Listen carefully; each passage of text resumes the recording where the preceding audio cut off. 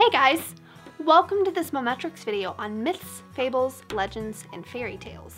A lot of you have probably grown up with your parents reading books or watching movies with you. Well, chances are most of what they read to you was a myth, fable, legend, or a fairy tale. Let's look at what makes something a myth, fable, legend, or a fairy tale. A myth is a story that was made up by people who wanted to explain how or why our world works, how it came to be, how we should treat others, why hurricanes happen, and so on. Myths are sort of like our ancient ancestors' versions of science.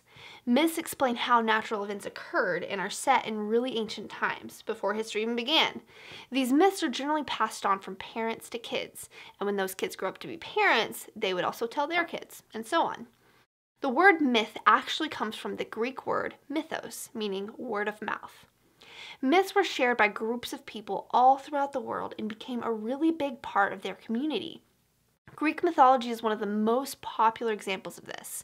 Their myths generally centered around various gods and goddesses. Sometimes days were even set apart to have big celebrations because of these myths. Legends are stories that people made up as well. However, legends are about real life people and what they did. Legends always have an important purpose, but the facts are a little exaggerated to make them more interesting and exciting. Generally, some of the facts are dramatically altered and the person the legend is about never really did what the story says. Now, a fable is also a story that is passed down.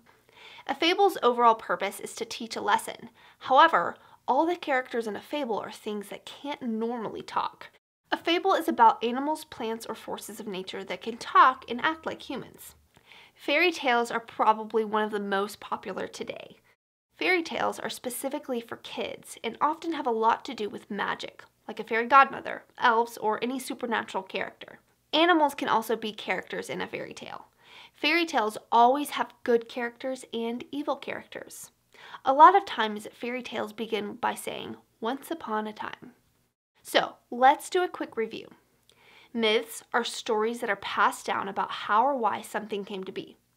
Legends are designed to teach a lesson about a real person in history, with a few facts dramatically changed.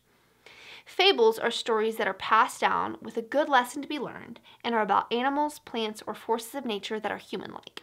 Fairy tales are stories that are specifically for kids, involve magical characters, have good and evil characters, and generally start with once upon a time.